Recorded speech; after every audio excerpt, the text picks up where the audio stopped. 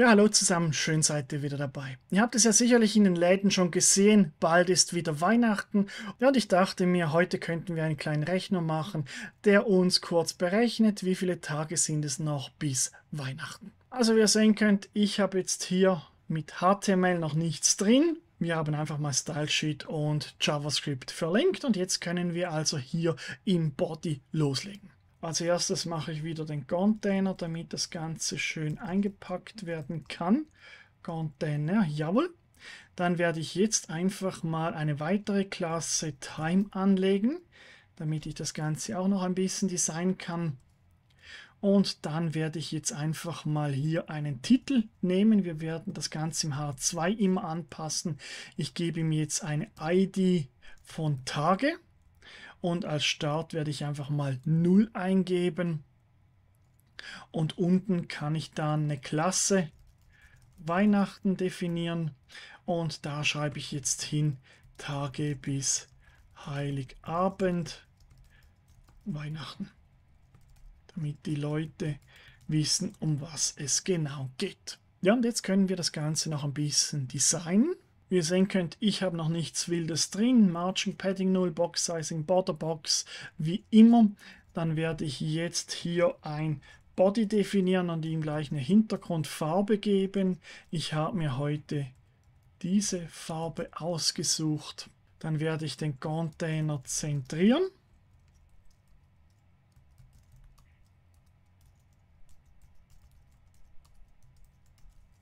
Dann werde ich den Inhalt vom Container äh, zentrieren. Das wäre mit Time und dann kann ich hier Text allein Center arbeiten. Jetzt seht ihr, ist alles schön eingemietet. Dann kann ich jetzt die Tage definieren hier.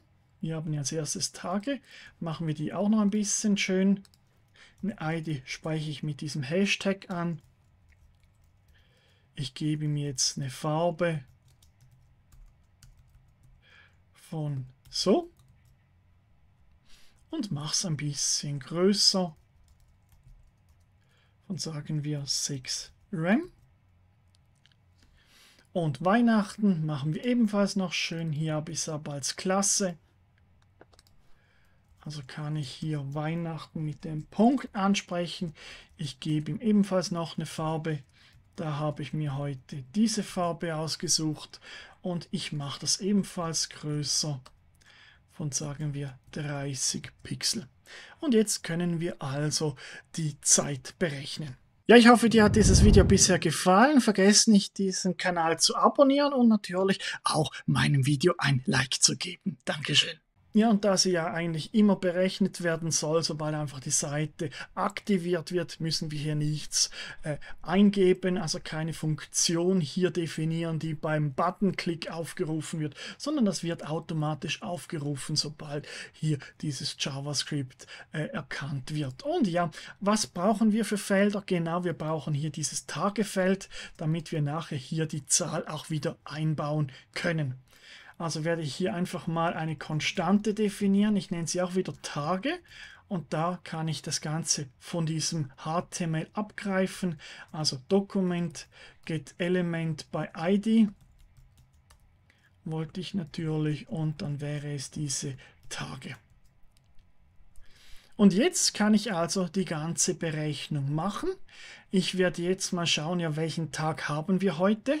Also kann ich auch wieder eine Konstante definieren, heute. Und da wäre der Befehl New Date. Und jetzt könnte ich zum Beispiel das Ganze noch in, ähm, in der Konsole ausgeben, damit wir checken können, ob das wirklich funktioniert. Konsole, Log, heute und wenn ihr jetzt hier genau seht, ja, ich bin jetzt heute Montag, 19. August. Ich werde dieses Video heute noch veröffentlichen. Ich habe es also morgen aufgenommen. Es funktioniert. Ich bin jetzt äh, kurz vor Mittagszeit. Ja, ich muss mich beeilen, bis ich all meine Videos nachher noch aufgenommen habe. Aber jetzt kann ich das Ganze berechnen. Ja, da muss ich jetzt natürlich noch wissen, welches Jahr ich habe. Also je nachdem muss ich auch da noch wegen äh, Schaltjahr aufpassen. Also definiere ich jetzt einfach mal das aktuelle Jahr. Das wäre heute. Get Full Year. Ja, und als nächstes muss ich natürlich definieren, ja, wann ist überhaupt Weihnachten? Also let Weihnachten gleich New Date. Das wäre vom aktuellen Jahr. Wann ist jetzt Weihnachten? Und jetzt müsst ihr einfach wissen, wir fangen immer bei 0 an und nicht bei 1. Also ist hier 11 drin und nicht 12.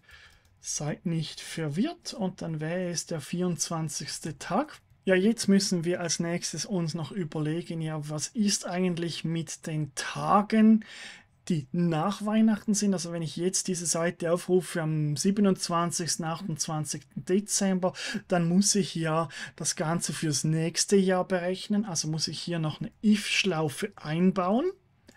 Also ist heute größer als Weihnachten. Also haben wir jetzt, sagen wir, den 28. 29. Dezember. Dann ist ja Weihnachten nicht mehr im aktuellen Jahr, sondern im nächsten Jahr. Also muss ich hier wieder Weihnachten definieren, aber New Date wäre aktuelles Jahr plus 1. Und dann habe ich hier wieder, den Rest ist ja gleich. Also haben wir am 28. 29. Dezember, das ist größer als Weihnachten, weil vom nächsten Jahr, also ist das aktuelle Jahr plus 1. Das ist sehr wichtig, damit diese Rechnung auch zwischen Weihnachten und Neujahr noch funktioniert. Jetzt müssen wir die Distanz berechnen von diesen äh, zwei Daten. Also haben wir die konstant. Dann wird das Ganze in Millisekunden berechnet. Frag mich jetzt nicht warum. Ich habe es einfach mal Millisekunden drin. Und dann wäre das Weihnachten minus heute. Auch das können wir noch mal kurz ausgeben. Ist noch immer wieder lustig, um zu sehen, ob das wirklich funktioniert. Also ich gebe jetzt hier Console-Log Entfernung in Millisekunden an. Und jetzt, dass ich gestartet habe, seht ihr hier oben ist das Millisekunden. Also so viele Millisekunden sind es noch. Noch was? 10 Milliarden? Nein, Millionen, Milliarden, doch 10 Milliarden 936 Millisekunden. Wenn ich es jetzt neu lade, dann sind es schon weniger. Und ja, bei Weihnachten ist am 24. ist es dann bei 0. Ja, und dann müssen wir jetzt das Ganze wieder umrechnen, also in die konstante Anzahl Tage. Da muss ich das mathematisch berechnen. Sale. Und da muss ich das Ganze umrechnen, also das wäre die Entfernung in Millisekunden durch.